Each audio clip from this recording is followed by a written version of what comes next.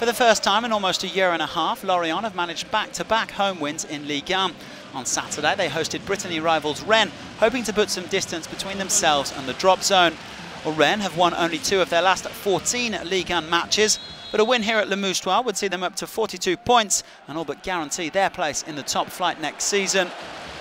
Walid Mesloub with the first shot on target here for Lorient, forcing a half-decent save from Benoit Costil but it was the visitors who went ahead through Edson Mexer in the 16th minute.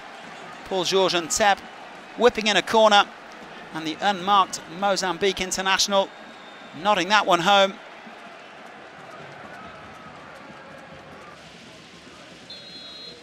Well, shortly before the half-hour mark, a free kick coming in at the other end. And Jordan Ayew forcing an excellent save from Costil, just clawing that one out with his right hand to keep it at 1-0. A fine ball from Ola Toivonen for Pedro Henrique. just pulling inside. And in the end, it was Wesley Lautoa who cleared that one with goalkeeper Benjamin Lecomte beaten. Rennes did make it 2-0 before half-time.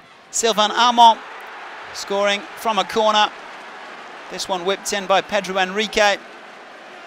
That's an 18th goal in Ligue 1 for the veteran defender who's now the most prolific defender still playing in the French top flight. His first goal for Rennes. And the visitors 2-0 up at the break. And it didn't take long for 2-0 to become 3-0 just five minutes into the second half. Ntep showing his pace and pulling back for his partner in crime, Abdoulaye Doucouré. He's up to 10 goals in Ligue 1 this season, eight of them coming on the road. A fine cut back and a simple finish to make it 3-0. It's the first time since August 2014 that Rennes have scored three in a league 1 game. And at the other end, Costil remaining vigilant. How about that for a save? Putting that one out from the feet of Benjamin Jeannot. Jeannot trying his look from distance. Another good save from Costil. One of Rennes' top performers on the night. The ball simply wouldn't go in for the men in orange.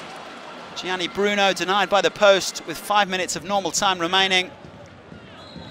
And in the end, a comfortable win for Rennes. It finished at 3-0 at Le Moustoir.